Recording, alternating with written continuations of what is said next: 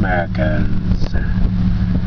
We're here at church. We're going to see if we can get a little help, some gas.